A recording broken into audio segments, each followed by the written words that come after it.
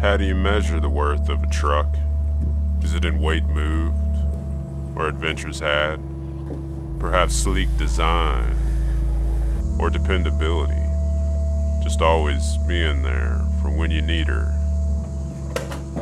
Maybe we don't truly appreciate the worth of a truck until it's gone. So when is a truck more than a truck? Well, we all knew every time we heard that backfiring beauty coming around the corner. Talking about Big Blue, ladies and gentlemen.